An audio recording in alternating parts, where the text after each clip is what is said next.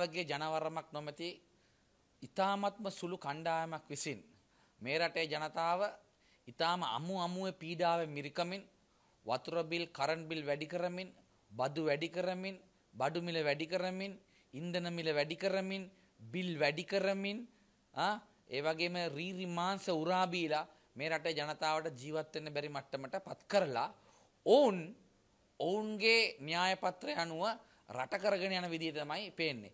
අනේ ඒ නිසා තමයි අපි කලින්ම කිව්වේ ජනතාවගේ ජනමතය උරගා බලන්න ප්‍රජාතන්ත්‍රවාදයේ ප්‍රතිමූර්තිය නියෝජනය වෙන්න මේ ජනමතයක් නැති පාර්ලිමේන්තු විසුරුව හරින්න කිලිවරලා. මේ පාර්ලිමේන්තු විසුරුහරල වහම මහමැතිවරණට ගියා නම් ජනතාව මේ මොහොතේ විඳින පීඩනය අනුව ඔවුන්ගේ ජනමතය මොකක්ද කියන එක බලාගන්න පුළුවන්. එතකොට මේ ජනතාව ගැන හැඟීමක් නැති ඔවුන් ජීවත්වන දිගෙන අවබෝධයක් නැති ලේ ඇට මස් නහර වැඩ කරන්න නැති පාර්ලිමේන්තු චන්දයක්වත් දිනාගන්න බැරි කණ්ඩායමක් ජනාධිපති ලේකම් කාර්යාලය ඇතුළ ඉඳගෙන මේ රටේ ජනතාවට දෙන පීරණය පිළිබඳ ඔවුන්ගේ තීරණය ලබා දේවි. ඉති එනිසා අපි අද පැහැදිලිව කියන්න කැමති දැම් මේ බජට්ටකෙන් අරක වැඩි කරනවා කියනවලු මේක වැඩි කරනවා කියල නික සුරංගනා කතා කියල කියනවා.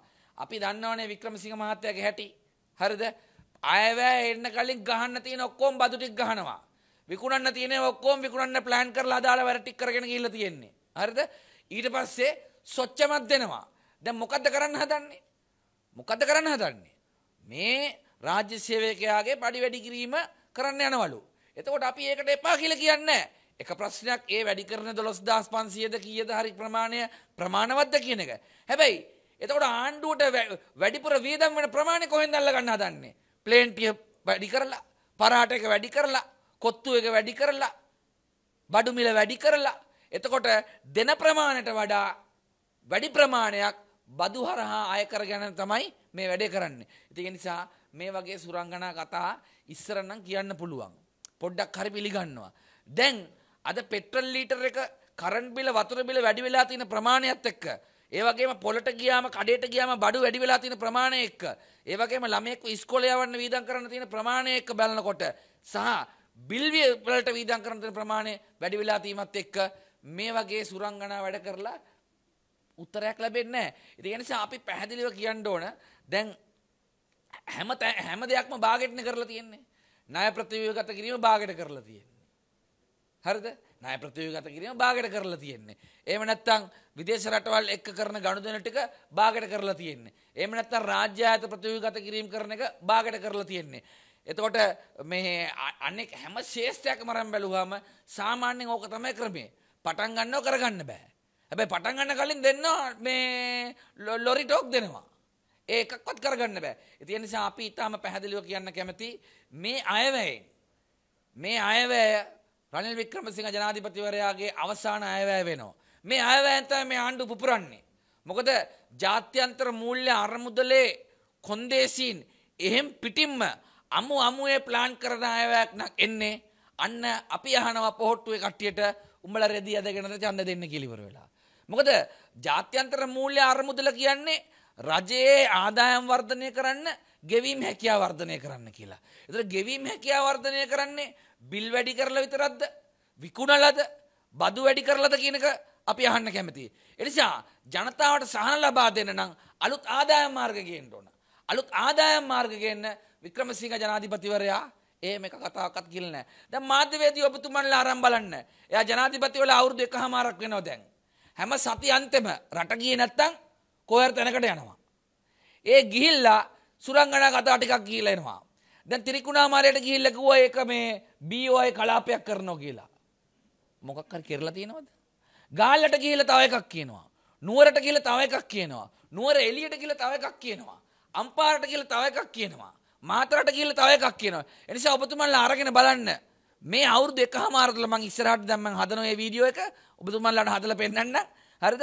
මේ අවුරුදු එකහමාර තුල ලංකා හිටපු වෙලාවේදී සතියන්තවල මේ එක එක ප්‍රාත්වලට ගිහිල්ලා කියපු සුරංගනා කතා වලින් අබමල් රේණුවක වැඩ ආරම්භ කරලා තියෙනවද? එක වැඩක් කරලා තියෙනවද? ඒ වෙනුවට ඒකාධිපතිවාදයෙන් උද්දච්චකමින් මර්ධනයෙන් මේ රට පාලනය කිරීමේ ක්‍රමයක් තමයි ගෙනියන්නේ. ව්‍යවස්ථාදායක සභාවක් කියන එකක් ගෙනාව එයා තමයි ඉස්සෙල්ලා. හැබැයි ව්‍යවස්ථා සාධායක සභාව මේ සතපහකට එයා ගණන් ගන්න. ඊළඟට මේ කොමිෂන් සභාව ගෙනාව එයා තමයි. කොමිෂන් සභාව එකක්වත් එයා ගණන් ගන්නේ නැහැ. ප්‍රජාතන්ත්‍රවාදය ගැන බණ දෙසලා ප්‍රජාතන්ත්‍රවාදය ගැන මහා ලොකු සම්මන්ත්‍රණ තියලා ඒවායේ ලෝක තනතුරු අරගෙන අද තමන් බලයට ආවයින් පස්සේ බලය රැක ගැනීම සඳහා විවිධ උපාදූත දාගෙන ඉන්නවා. එනිසා අපි පැහැදිලිව කියන්න කැමති දැන් එයා මේ තව එකක් කරනවා. දැන් මේ ඔක්කොම කරන්නේ මොකද එතුමා ලොකුවටම බය සමගි ජන බලවේගයට. එනිසා එතුමා මේ මේ සියලු වැඩ කටයුතු ටික කරන්නේ අර කණ්ඩායමක් දාලා සමීක්ෂණ කරවලා මේ ඒ සමීක්ෂණ වල ප්‍රතිඵල මාරු කරලා සමගි ජන බලවේගයයි එක්සත් ජාතික පක්ෂයයි එකතු වුණොත් දිනන්න පුළුවන් වගේ මතයක් තමයි පෙන්වන්න හදන්නේ. මොකද මේ වෙනකොට පොහොට්ටුවෙන් නාම යෝජනා ලැබෙන්නේ නැහැ කියලා ඉවරලා ඔප්පු වෙලා තියෙන යාට. ඉතින් ඒ නිසා මේ වෙන පොලිටිකල් ගේම් ගහලා ඒ පොලිටිකල් ගේම් ටික ගහන්න පුළුවන් වටපිටාව හැදීම සඳහා ජනතාව පීඩනයට පත් කරන වැඩ පිළිවෙලක් තමයි ගෙනියන්නේ. ඒ නිසා අපි පැහැදිලිව කියන්න කැමති ඔය අපි පෞගිය ආණ්ඩුවේ ඉන්නකොට විවිධ දූෂණ චෝදනා එල්ල වෙච්ච විවිධ මේ අකටයුතුකම් වලට වක් කියන්න ඕන අය එක්ක අපි එකතු වෙන්නේ නැහැ.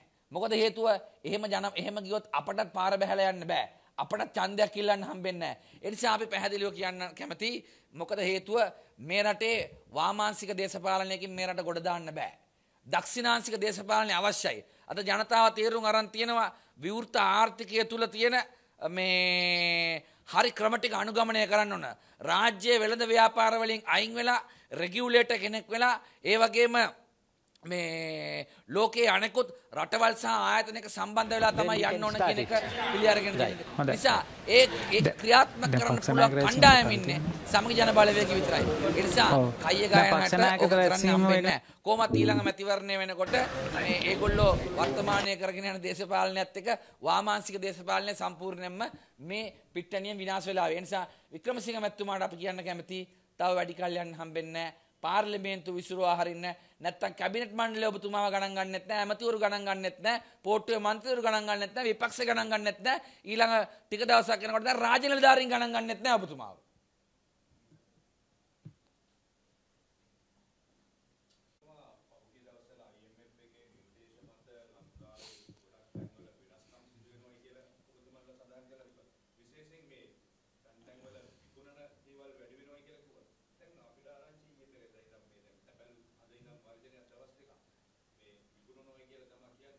දැන් නෑ මගේ පුද්ගලික මතය මම නම් රාජ්‍ය දේපල විකුණන්න ඕන කියලා කියන්නේ නැහැ.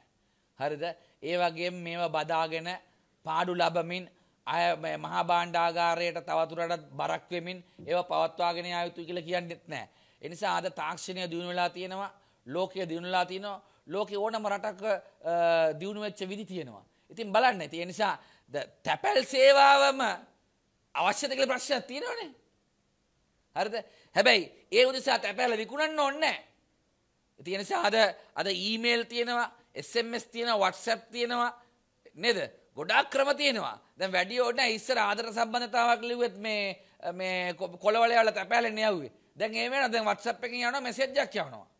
ඉතින් ඒ නිසා දැන් මේ රාජ්‍ය දේපල පෞද්ගලික කියන්නේ පබ්ලික් ප්‍රයිවට් පාර්ට්නර්ෂිප් වලින් අපිට තියෙන ඔපචුනිටිස් පාවිච්චි කරන්න ඕන කියන එක මම නම් පෞද්ගලික විශ්වාස කරනවා.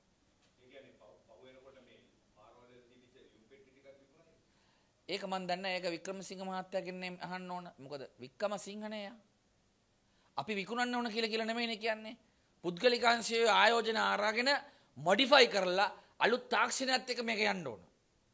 ඕනම ඕනම වෙළඳ ව්‍යාපාරයක් හිමයි යුතුයි. රජය ව්‍යාපාර වලින් අයින් වෙන්න ඕන. රජය නියාමන මේ කිරීම තමයි කළ යුත්තේ. වෙළඳ පොළ තරඟකාරීත්වය ඇති කරන්න ඕන. එතකොට තමයි පාරිභෝගිකයාට ඒකේ ප්‍රතිලාභ ලැබෙන්නේ. දැන් මම ඔබතුමාට උදාහරණයක් කියන්නම්කෝ. දැන් දැන් සිනොප් එකකට මේ ලංකාවේ වෙළඳ පොළ විවෘත කිරීම පිළිබඳ මම නම් කැමතියි ඒකට. මොකද හේතුව තවත් කට්ටියට දෙන්න ඕන.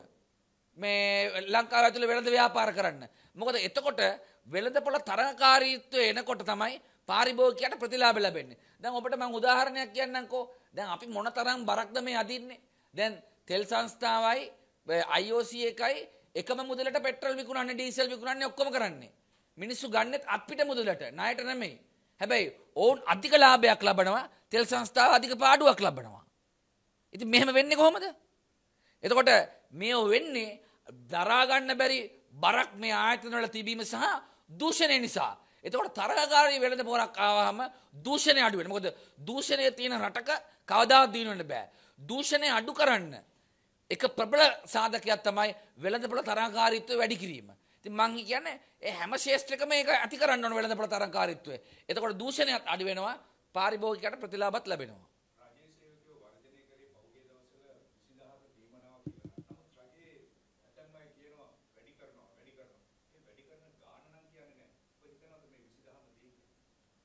මන්නම් හිතන්නේ කොහෙන්ද දෙන්න කියලා ඉවරලා. මං හිතන්නේ කොහෙන්ද දෙන්න කියලා. 20000 දෙන්න නම් තවදුරටත් බදු ගහන්න ඕන තවදුරටත් බඩු මිල වැඩි කරන්න වෙයි.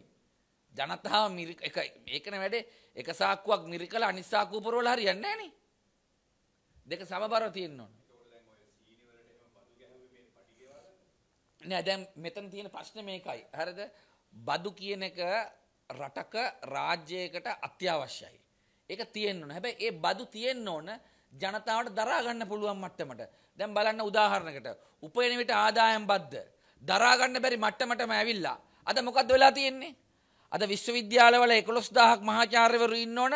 අද 5000 ගණක් දක්වා අඩු වෙලා තියෙනවා. බුද්ධිගලනයක් සිද්ධ වෙලා තියෙනවා. අද වෛද්‍යවරු පොලිමේ මේ පිටරට යනවා. අද ඉගෙනගත්තු තරුණ තරුණියෝ තානාපති කාර්යාල ගාව පොලිමේ ඉන්නවා වීසා ගන්න. හරිද මේ වෙනකොටත් ලක්ෂ ගාණක් ගිහිල්ලා තියෙන්නේ. එතකොට මෙහෙම රටක් පවත්වාගෙන යන්න පුළුවන්ද? ඊට පස්සේ අපි මොකද්ද කරන්නේ? ඉගෙනගත්තු මිනිස්සු, උගත් මිනිස්සු, දැනුම තියෙන මිනිස්සු, හැකියාව තියෙන වෘත්තිකයෝ අපේ රටෙන් ගියාම කොහොමද මේ කරන්නේ? ඉතින් කවුරුවත් කියන්නේ නැහැ බදු ගෙවන්න බෑ කියලා ඉවරලා. හැමෝම කියන්නේ බදු ගෙවන්න පුළුවන්. බදු ගෙවිය යුතුයි. හැබැයි දරා ගන්න පුළුවන් ප්‍රමාණයට බදු ගෙවිය යුතුයි කියන එකයි කියන්නේ. නේද ඒක තමයි කියන්නේ දැන් පෞද්ගලිකංශයේ මම දන්න තරමට නම් පෞගිය අවුරුදු දෙක තුන ඇතුළත පෞද්ගලිකංශයේ බොහෝ ආයතනවල වැටුප් වැඩි කිරීම කරා. මොකද ඒ ආයතනවල කාර්යක්ෂමතාවය තියෙනවා. ඒ කාර්යක්ෂමතාවයේ කවුන්ට ප්‍රතිලාභ ඇවිල්ලා තියෙනවා. ඒකෙන් කොටසක් කවුන්ට් සේවකයාට ලබා දීලා තියෙනවා. මම දන්න තරමට.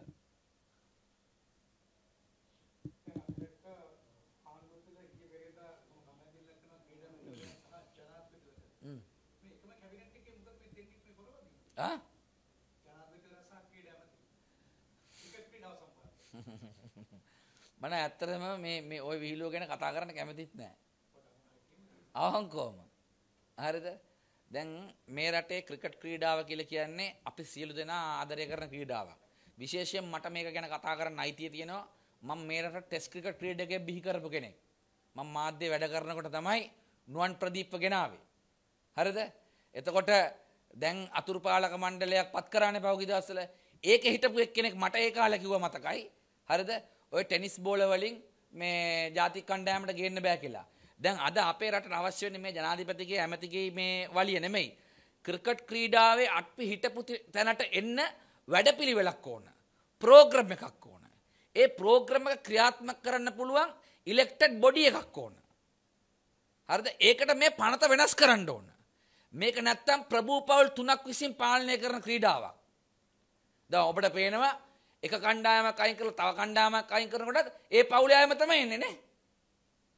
රාජපක්ෂලා වගේ හරියට. ඉතින් ඒ නිසා මේක ප්‍රභූ පැලැන්තියට ක්‍රීඩා සංගම් හරහා ඔවුන්ට පමණක් එන්න තියෙන අවස්ථාව නැති කරලා මේ රටේ ක්‍රිකට් වෙනුවෙන් ආදරය කරන මේ රටේ ක්‍රිකට් පාලනය ගොඩ දාන්න පුළුවන් හොඳ කළමනාකරුව කණ්ඩායමක් තමයි අවශ්‍ය. ඒ කියන්නේ ක්‍රීඩකයින්ගේ අතීත ක්‍රීඩකයන්ගේ විශේෂ උපදෙස් ගන්න පුළුවන්. ඔවුන් ඔවුන්ගේ ශේෂත්‍ර වලින් හොඳ කළමනා කරන කණ්ඩායමක් ඕන හොඳ වැඩසටහනක් එක්ක. ඔබ බලන්න ගාම්නිසානාගේ මැත්තුමා. ක්‍රිකට් වලට අප්‍රමාණ ආදරය කරපු පුද්ගලයෙක්. එතුමා මේ රට ටෙස්ට් ක්‍රිකට් මේ වරම් මේ ලබා දුන්නා. හරිද? අවසානයේදී ඒක 80 ගණන් වල ඒක අරන් 96 ලෝක කුසලානේ අරගෙන තමයි දින්නේ. එතකොට මේකේ විජය මල්ලසේකර ආනා පුංචි හේවා වගේ දක්ෂ පරිපාලකයෝ ඉඳලා තමයි කොට දාලා තියෙන්නේ. ඒ නිසා ක්‍රිකට් ගහන්නම ඕනේ නැහැ ක්‍රිකට් දියුණු කරන්න. ක්‍රිකට් ගහන්නම ඕනේ නැහැ ක්‍රිකට් දියුණු කරන්න. ඒ නිසා ක්‍රිකට් ගහන අයගෙන් උපදෙස් ගන්න පුළුවන් හොඳ කළමනාකරන කණ්ඩායමක හොඳ වැඩසටහනක් අවශ්‍යයි. ඒ නිසා මේ ඇමතිගේ ජනාධිපතිගේ තියෙන ඔවුන්ගේ අජෙන්ඩාස්. දෙන්නම දේශපාලන සූදු පිටින එක ඉන්නේ. හරි බොහොම ස්- ආ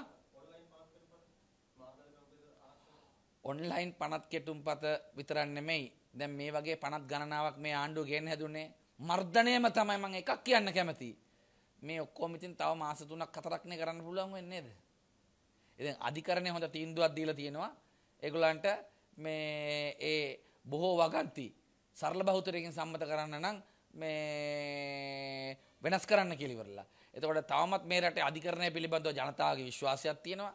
ඒ වගේම මහජන නියෝජිතයන්ගේ විශ්වාසයක් තියෙනවා. අධිකරණයේ තීන්දුව අනුව කටයුතු කරන්න වෙනවා.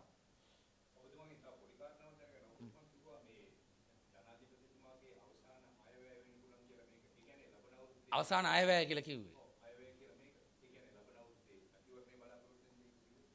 නෑ ආයි ජනාධිපති වෙන්නේ නැහනේ.